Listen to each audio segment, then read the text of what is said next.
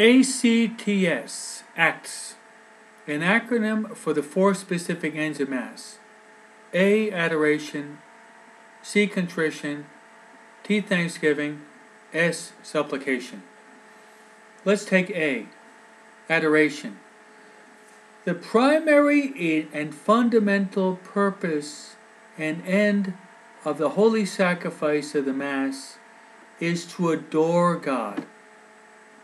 St. Ignatius Loyola says that man is created to praise God, reverence God, serve God, and by means of that to save his soul.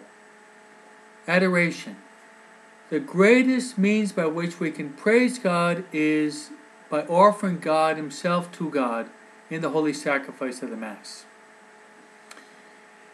And probably one of the best ways to exemplify the importance of adoring God is the part of Mass that we call the doxology. And here it is. The bread and wine has already been transformed into the body and blood of Christ. And it's the moment called the doxology, which the priest takes the host in his hands, and the cup or chalice of the blood in another one of his hands.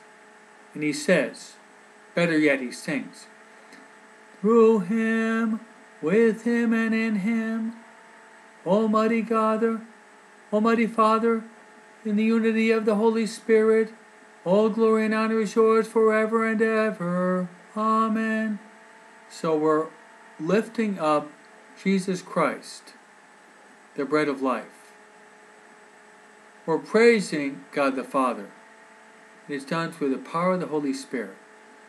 So we praise God the Father through the offering of God the Son, is present in the consecrated host, in the consecrated chalice. But it is also done through the power of the Holy Spirit.